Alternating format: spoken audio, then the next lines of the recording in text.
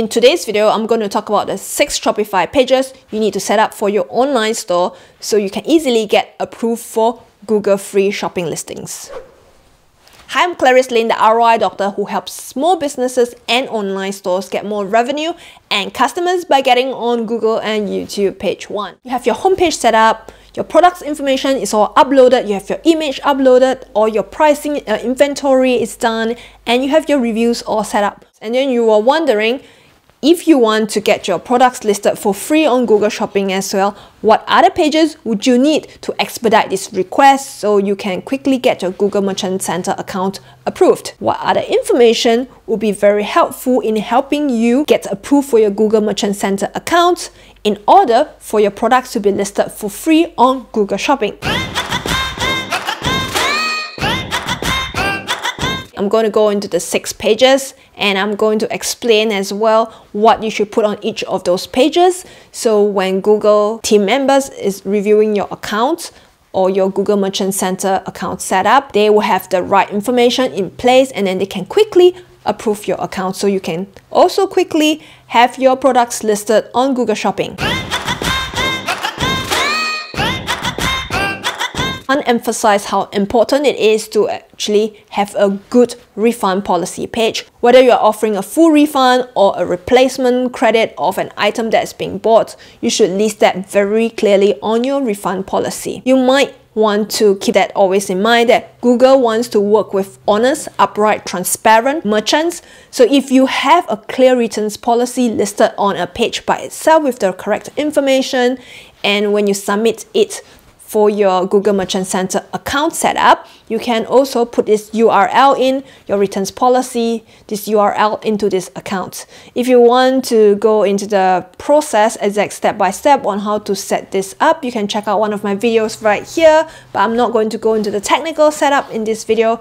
I'm just going to go into a brief outline of what you should include in your refund policy page to make it complete. The full list of information you need to include is whether you offer a refund, within how many days should a customer ask for refund after they have placed this order, and how they can return the items. Um, you should provide an address if they should want to return this item. Do they submit it through an online form or should they send you an email? This information should be really clear. And on what basis would the return item be accepted and how long would it take for you to process this repayment back to your customers and how long would it take for them to receive this payment. So you want to be really upfront and you put all this information right on this refunds policy page. Ideally, you would also have named your URL clearly right at the top to say refunds policy so it's really clear and the URL should ideally be refund dash policy. So that will be really clear as well when Google's reviewing your page. It's very clear, very complete. You have everything there. So Google will have no reason to reject your Merchant Center account. A bonus tip for you if you like to is within your returns policy. So let's say if a customer is looking through the refunds policy before they make that order, maybe they could be interested in your shipping policy as well. You could also include this shipping URL information on your returns policy page so you can direct them to this other page. It's also good for your SEO as well if more of your pages are interlinked together. So if you could include that in, that would be a booster to your Google rankings. Number two, your shipping page. Shipping page is extremely important because a customer wants to know exactly how long the product will take to arrive on their doorstep. They also want to know how much would it cost. Would it cost them extra if they are shipping locally or if it's an international order, how much would it cost them? You want to be really upfront and you list it right there. And on this shipping policy page, you want to be really clear. You have a top heading with the right title and the URL should be shipping dash policy, which would really help you when you submit this URL when setting up your Google Merchant Center account. This is also part of the requirements. Google wants to know how long would the customer need to expect from the time they complete their order, how long would you as the online store owner, how long would it take you to fulfill this order, and you have to take into consideration the delivery time, how long it would take to dispatch to deliver to the doorstep. If there are any weekends delivery as well, should that take a longer time, you should also include that as well. If you put all this complete information into onto that page itself and submit the same information on this shipping policy settings on your Google Merchant Center account, this will greatly expedite your approval as well. And within this shipping information, you could also link back to your returns policy by highlighting if they want to know more about returns policy, they can also refer to this other page. It's very helpful for your Google search rankings as well when you are linking different pages, uh, related pages together. So by including that and highlighting information that interlinks to each other, it's going to really help your Google search rankings. If you want to know exactly how you can improve your Google search rankings as well. There's this other video right here. Check it out. It teaches you exactly how to set up your Google Search Console account, which is previously known as the Google Webmasters tool. This only tool that helps you to communicate with Google so you can get your product pages and your other pages get a higher rank on Google search so more customers can find you and arrive on your online store. The third page you want to set up as well is your about page. about your store, what's your mission, what's the value of your store, uh, what's the origins of your store, perhaps even like where's your store base, who are you as a person, are you manufacturing your own products, and what does your store stand for. By having all of this information, it sets you up as a legit store owner. So one of the things that um, I want to actually highlight is that Google places more emphasis and is more likely to um, approve stores that are non-drop shipping stores. So if you don't have a drop shipping store, you actually have you produce your own product or you manufacture your own product. Things like that, personalization of any kind, anything about your company, you should put that on the about page because on the Google Merchant Center account setup as well, one of the sections that you need to fill in is about us. So they want to know more about your company, about your store, what it sells, you know, where you produce. If you are producing your own product as well, you want to put this information. So on your About Us page, if you create that and put all this information, maybe even a picture of yourself, if you want to promote your brand, your personal brand has a brand front for your store as well, put that all in because when Google team members looking at your account, that will be one of the aspect that they are looking at. And if you are not already aware of that, by putting a picture of yourself, maybe as your store owner, showing some pictures on the about page, it actually helps to create an emotional connection with your customer.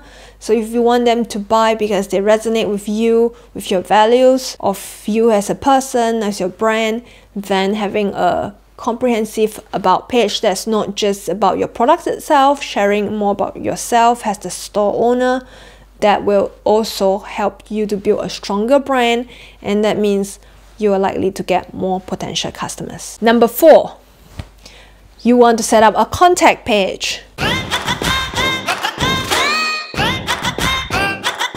Having a contact page is a very important piece of information for the customers. So to Google, that's an equally important piece of information. Either you have a contact form or you might have a phone number or a physical address so customers can write to you if they have any queries or if they want to ask for any returns before they make their purchase. You have to be contactable. So by providing this contact page, that's going to help you get your Google Merchant Center account set up as soon as possible as well because that's one of the criteria Google wants you to submit. You want to tell Google that you are offering multiple options for potential customer to contact you. To Google, having multiple forms of communication is a sign to them that you're a legit business, you're really open for business, transparent, upright, honest merchant who is selling good products to good customers and that's going to help them to get Google users to go to Google Shopping again and again. So if you want to get your Google Merchant Center account set up, set up your contact page, put up your contact information, whether it's your telephone number, an address, and if you have an email address, put that in as well. So there are many people who might actually get their Google Merchant Center account suspended because they are not filling up all this correct information. You can also check out my other video right here where I talk about the top three reasons why Google Merchant Center accounts might get suspended so you can actually get it approved as quickly as possible so you can check that out here. If you have a physical retail store as well, put up the physical address and tell them what's your opening hours so they know when they can contact you or when they should expect a reply if they send you a message.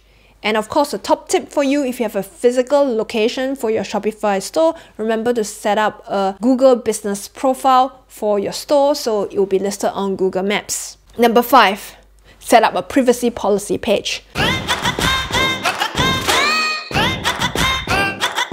Within Europe itself and the United Kingdom, there's a huge emphasis on highlight on protecting customers' information, shoppers' information. So you want to have that as part of your store information as well. Shopify itself has a template for you to provide that piece of information. So if you don't have any templates yourself, you do, if you don't know how to set it up, you can choose uh, Shopify's privacy policy template. So you can tell customers how you are handling their information, whether you are not holding on to their banking information and their privacy in terms of their address or email address is protected by you.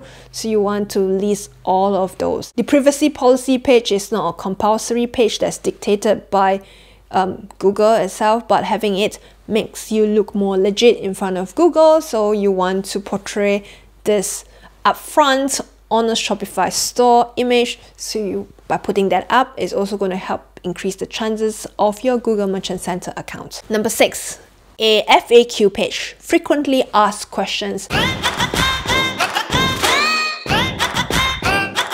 Providing a frequently asked questions page is going to kind of legitimize your entire store as well by the willingness of you being transparent offering all this information about your products, whether it is about your product information, sizing, whether it's about pricing information, about payment methods, putting all of this information into your FAQ page is going to increase your credibility as a Shopify store owner. So take a pen out and list all of this down, whether it is a sizing information, product information, color of your products.